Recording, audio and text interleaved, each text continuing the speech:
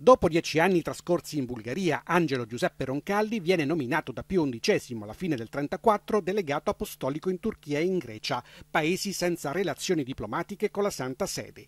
Se i rapporti con Atene non migliorano, la presenza del futuro Giovanni XXIII sul Bosforo è ricca di prospettive feconde. In primo luogo nei rapporti con lo Stato turco, edificato su ferrei principi di laicità da Ataturk, e poi in favore della minoranza cattolica anatolica per la quale Roncalli Vivaldi introduce la lingua turca nelle liturgie religiose e verso la quale si comporta come un vero e premuroso pastore.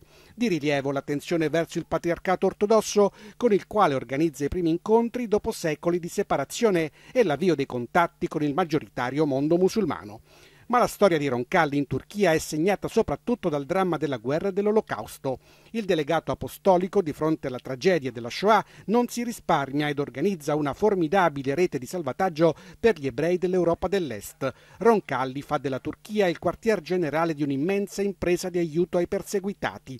Ankara diviene il crocevia verso la Palestina per tutti gli ebrei in fuga dall'Europa orientale. Roncalli moltiplica i falsi certificati di battesimo, raccoglie viveri e vestiti, mobilita le sezioni della Croce Rossa un'azione nella quale il delegato riesce a contare sulla benevolenza dei funzionari del governo turco e anche su quella dell'ambasciatore tedesco, il cattolico von Papen.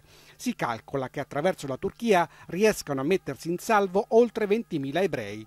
Un'opera poderosa riconosciuta quest'anno a maggio anche dalla Knesset, il Parlamento israeliano, in una solenne seduta plenaria. Nel 1944 Roncalli viene trasferita a Parigi, ma le esperienze di quel decennio sulle rive del Bosforo sono fondamentali. L'impegno ecumenico, l'attenzione verso gli ebrei e musulmani sono mattoni con i quali Giovanni XXIII costruisce alcuni dei pilastri del suo pontificato e poi la Turchia stessa rimane nel suo cuore. Durante la sua permanenza nel paese crea un'atmosfera di amicizia sincera con le autorità locali, un'amicizia che continuerà anche successivamente. Sarà Giovanni XXIII infatti, in seguito alla visita di Seral Bayar, presidente della Repubblica di Turchia in Vaticano nel giugno del 59, a instaurare con Ankara relazioni diplomatiche ufficiali. Un'attenzione che in riva al Bosforo non è mai stata dimenticata, tanto che per molti ad Ankara e dintorni Giovanni XXIII è ancora, con una punta di affettuoso orgoglio, semplicemente il Papa turco.